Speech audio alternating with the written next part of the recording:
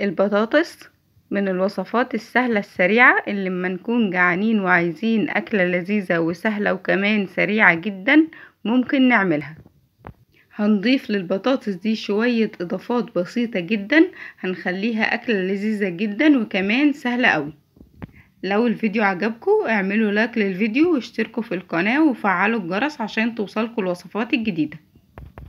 أول حاجة دي كل المكونات اللي هنستخدمها معانا نص كيلو بطاطس أنا مقشراها وحطاها في مية عشان لونها ما يسودش.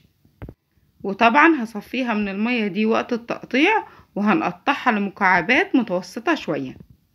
وكمان معانا بصلتين متوسطين هنقطعهم برضو مكعبات بس أصغر من حجم البطاطس بشوية. وكمان حبة فلفل أحمر بارد هنقطعها مكعبات صغيرة. وكمان معانا فص واحد توم الفص كبير شوية لو فصين هيبقوا صغيرين. ومعانا كمان شوية زيتون أخضر مخلي مقطع. ومن وجهة نظري أنا يفضل وأنتوا بتستخدموا الزيتون استخدموا الزيتون الأخضر وما تستخدموش الأسود خالص لأن الزيتون الأسود بيكون عليه صبغة مضرة جدا للأكل. يلا بينا نبدأ. في طاسة كبيرة هنحط فيها معلقتين زيت طعام وهنضيف البصل على الزيت أول ما يسخن. ودرجة الحرارة بتاعتنا هتكون أعلى من المتوسطة بشوية.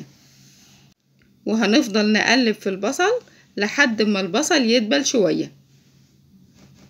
أنا فضلت أقلب في البصل لحد ما قطعت البطاطس. ولازم التقليب المستمر يعني بسيبه وبرجع أقلب فيه تاني. أهم حاجة إن البصل ما يغمقش يدوب يدبل بس شوية.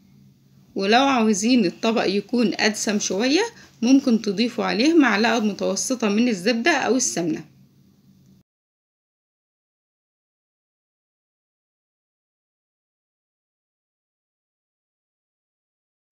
بعد ما البصل بيدبل هنضيف فص الثوم المفروم ونقلبه تقليبة واحدة فقط ويفضل أي توم بنضيفه على أي أكل إننا بس يدوب نشوحه. وما ينفعش خالص التوم يحمر لأنه لو احمر أو لونه غمق بيمرر الأكل خالص. يدوب بس هنقلب التوم تقليبة واحدة بعد كده هنضيف مكعبات البطاطس. لو لاحظتوا حجم المكعبات البطاطس يعني هي مش صغيرة ولا كبيرة هي متوسطة وكمان حجم مكعبات البصل أصغر من مكعبات البطاطس بشوية صغيرين. وأنا مفرمتش البصل لأن طعم البصل لما بيكون ظاهر في الوصفة دي بيكون حلو جدا. بعد كده هنوطي النار شوية ونضيف التوابل. معانا معلقة صغيرة من الملح وطبعا بنزود الملح لو احتاجت في الآخر خالص. ونص معلقة صغيرة من الفلفل الأسود ومعلقة صغيرة مليانة من البابريكا. البابريكا بتكون زيادة شوية ونص معلقة صغيرة من الشطة. ولو حابين تزودوا الشطة زودوها. وكمان هنضيف ربع معلقة صغيرة من الكمون. والإضافة الأخيرة اختيارية جدا وهي معلقة صغيرة من الزعتر أو معلقة صغيرة من الروزماري أو معلقة صغيرة من النعناع المجفف أو معلقة صغيرة من الريحان المجفف. أي حاجة من الأربع مكونات دول تنفع. وممكن نستغنى عنهم خالص ونضيف بدلهم نص معلقة صغيرة من الكزبرة الناشفة. وكمان هنضيف مكعب من مرقة الدجاج.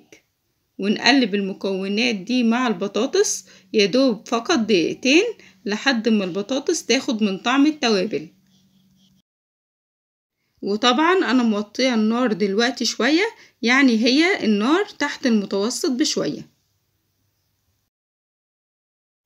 بعد كده هنضيف فنجان من المية. ممكن طبعا بعد كده تزودوا المية لو البطاطس مستوتش ونقلب البطاطس مع المية تقليبة واحدة فقط. بعد كده نغطي الطاسة ونسيب البطاطس والنار زي ما قلتلكوا تحت المتوسط بشوية. وكل شوية بنكشف البطاطس نقلبها تقليبة ونغطيها تاني ونسيبها تكمل سوا. وطبعا بنشوفها إذا كانت استوت ولا لأ وكمان عشان ما تلزقش ولا كمان تستوي زيادة. بعد ما البطاطس بتستوي بنضيف الإضافات اللي ممكن نستغنى عنها بس الإضافات دي بتدي للطبق طعم جميل أكتر. هنضيف قطع الزيتون الأخضر المخلي. هما شوية صغيرين يعني شوية زيتون صغيرين مش كتير. وكمان نضيف مكعبات الفلفل الأحمر أنا قطعته صغير شوية أصغر من حجم البصل بشوية. هنضيفه كده فوق الطبق نوزعه بالشكل ده. والإضافة الأخيرة خالص هي رشة من الجبنة الموتزاريلا. هنضيفها كده فوق الطاسة. رشة صغيرة خالص مش كتير.